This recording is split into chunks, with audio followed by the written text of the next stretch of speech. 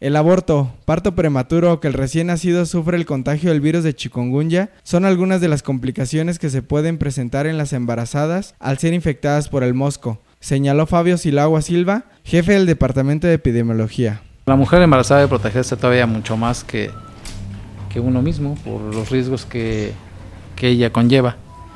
Uno de ellos es que si le pica el mosco en el embarazo puede tener dos situaciones. Una, aborto Dos, parto prematuro.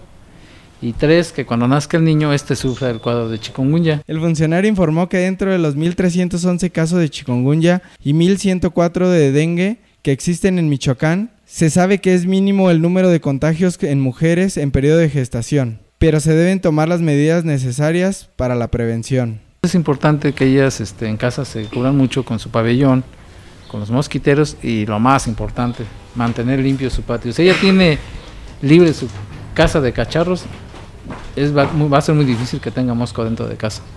El representante del sector salud, en rueda de prensa, recalcó que es de suma importancia que la población femenina en estado de gravidez se proteja para evitar la enfermedad debido a que no se podrá suministrar ningún tipo de medicamento. Para Cuasar TV, César Hernández.